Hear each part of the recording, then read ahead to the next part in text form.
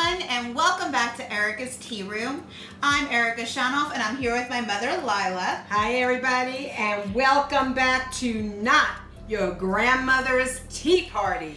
We are just back from our trip to New Jersey, and we're excited because it's a reboot week. Reboot. Re. Re. Okay. I'm going to give her the boot. No, it's a reboot. so we just got back and we have visited one of our personally favorite tea rooms in New Jersey. We've been going there for almost 30 years. One of their sandwiches was a caramel apple sandwich. And so we are going to be making. caramel apple. What was it? It was a cream cheese and apple sandwich. Okay. We are bringing it back today and rebooting it in our own way. By making it A caramel apple sandwich. this is a great fall recipe or anytime. It was our favorite thing on the high tea that we had there. So we're going to be using raisin bread. This is cinnamon raisin bread because It's got the cinnamon swirls. it got cinnamon swirls. We're gonna do three different versions. Yes, so the first one, I'm going to just take the bread and cut off the crusts because we're not going to eat the It's the unwanted elements. yeah, so I'm cutting off all the crust and then I'm going to make it on an angle. So that is my first, I don't like this piece of crust on there. My first sandwich is going to be like that. And if this is a little too big for you, you can again do another slice and make it into two smaller triangles. It's a perfect size for a little one sandwich. And actually, that was the size of the sandwich that was on the high tea that we had. So that's So- my first one. That's your first one. Now, then, these are my um, scone, Cutters. but the smaller ones to make the little baby so scones. these are the, the scone baby size. So I'm going to do from this one, I'm going to take two of the babies Okay. and make those baby ones. And they're Now- almost ruffled around the edge, so it'll kind of look like a little flower. And if it doesn't come out all the way, a little trick of the trade, push it all the way through like I just did from the back. And then we can have, oops, take actually a piece off, take another one. So we're gonna do two of the little round baby sandwiches, Okay. right? And then I'm gonna need two more breads for the bigger ones. Okay, two more. And I have to say, this is my favorite um, raisin bread. I love this. She'll use this to make uh, cinnamon French toast. And it's one of my personal bread favorite pudding. things. Or a bread pudding. So don't get rid of my ends because I'm gonna use every bit of this to make bread pudding. So there's no waste. No, no, why should you waste this good stuff? And if you prefer a different type of raisin bread, you absolutely can substitute it for your favorite. So now they have all kinds of different um, varieties. Oh, absolutely. They have a maple one that's very good too for this, but I didn't want to add too much of flavor, too much of a good thing. And you saw how I put through that, that through both of them, and then I had my little bread in between. And almost like a little pocket. So that's going to be my third sandwich. And we're not going to get rid of any of that because we're going to use that all for bread pudding. Bread okay. pudding. I took a half of a uh, eight ounce whipped cream cheese. So about four ounces. Yes. Well, a half of eight ounces, Erika. Just in case you're not sure. I can do simple math. Very simple. So I'm going to add some caramel to this. Now you can add honey, Yes. cinnamon. You could add.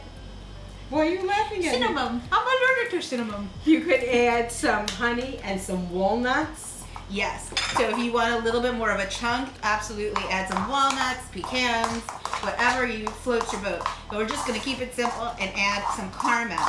So I'm going to spread it on both halves. Okay. Because we want a lot.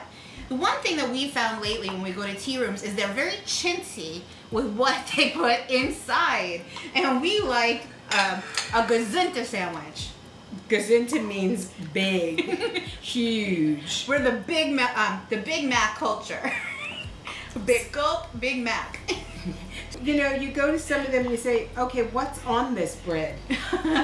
a long while ago, we went to a tea room and we were trying to figure out what was on one of the sandwiches. It was a little rectangle like this, and the woman said it was chicken salad, but I could swear It was tuna. tu- tuna. Erika said, no, it's tuna.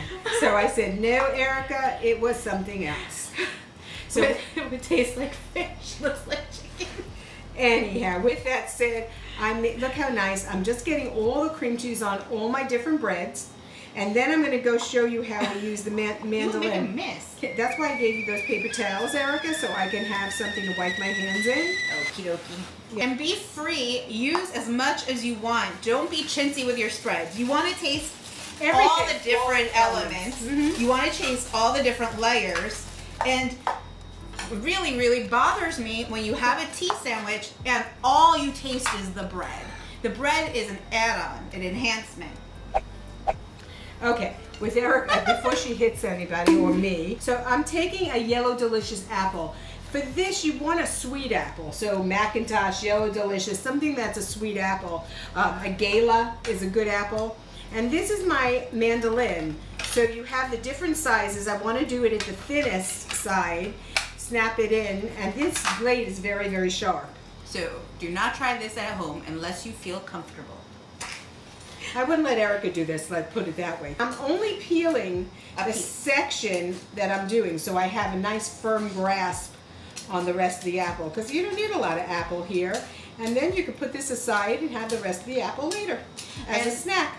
This is something that we're gonna do and we would make right before we're gonna serve it because we don't like um, adding lemon juice to the apple to change the flavor and you'd have to add something to it to keep it nice and fresh looking not turn brown so we're gonna do this So as look- soon as we're gonna eat it That sandwich, you're done. Look how it fit right on. Cover it up. And now you have that one apple sandwich. This really fits here, the smaller one. And let me just do one more slice for the other small one. So see, I wanted to be the right size. All I had to do is use that again and look how pretty that is. it's a nice little ruffle Little rufflet, okay? I'm gonna put that one over there.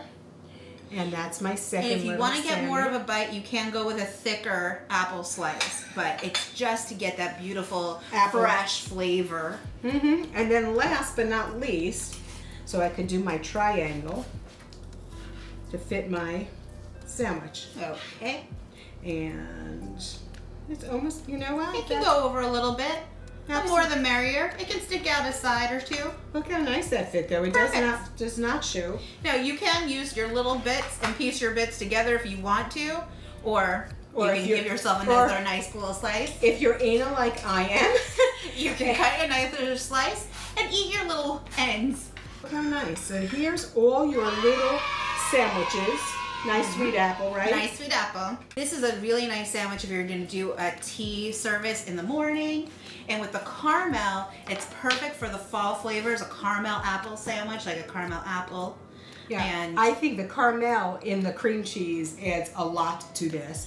And you see I'm trying to stack them up very nicely so you can see all three, right? Absolutely. Now what kind of tea did we have? So with the caramel cream cheese, we Chocolate caramel. decided to have a chocolate caramel black tea. Look at the beautiful flowers. It's pieces of cocoa nibs in there and that beautiful dried black tea leaves. Let's see how it brews. Oh, look at that. It brews to a beautiful golden brown, almost with a red tinge. That's a perfect cup of black tea right there. I smell the chocolate. It's very, very chocolate filled.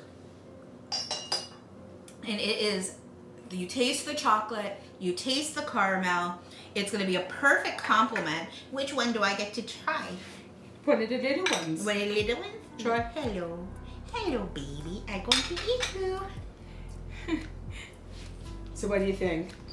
She, she can take a little bite. This is the perfect time for me because this way I can get all the words in edgewise where Erika cannot, cannot uh, do it. it is layers of flavor. So you taste the cinnamon and the raisins in your bread. You get the caramel that creamy caramel with the cream cheese. And then that sweet tartness of your apple.